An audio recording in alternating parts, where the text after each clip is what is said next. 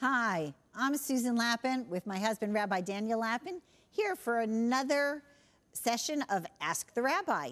This question came into our website.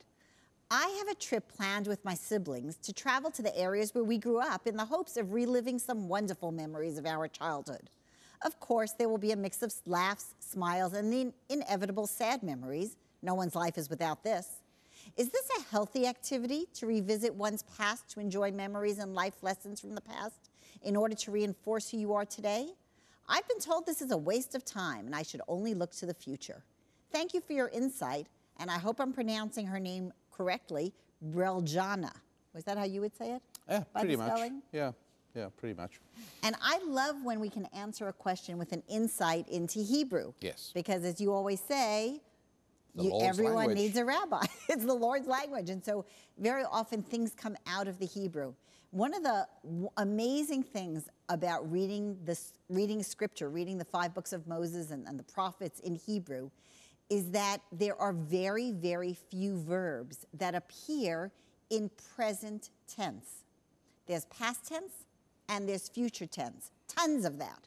Very little present tense. Even now, look what just happened there was a moment that was in the past, then it went like that, or it was in, and now it's when it, no, it was in the future, sorry. There was a moment in the future, it came and went, now it's in the past. Past is, is this little, little, little sliver.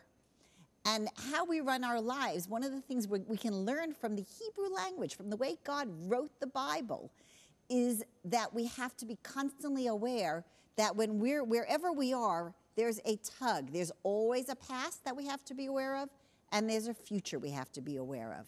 That's why the sentence, well, it feels good to me right now, is a terrible sentence. Not that you shouldn't do things that feel good, but they should feel good knowing that there's a past and that it honors your past and that it respects your future.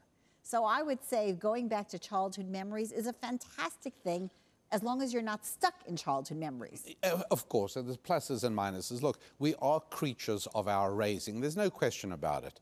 Uh, when you find yourself doing things that you recognize your parents to have done, that really proves it for you. That kind of locks it in, doesn't it, in a way that you really realize that uh, you are impacted by that. But and yes, it's it's fun to get together and, and relive the past. It, it's only good, and sometimes it even sheds a little bit of light of who you are. You share something with a sibling, and you understand for the first time.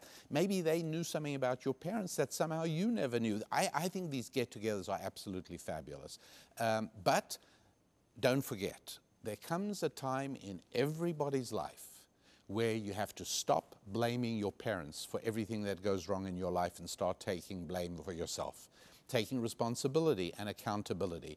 And, and that is a, uh, it's, it's really important. I'm stressing it because in, uh, where, where we live today, in this time in history, there is so much of this indulgence of talking about the past and speaking to therapists and counselors and psychologists who help you understand of how your parents ruined your life, stop it already.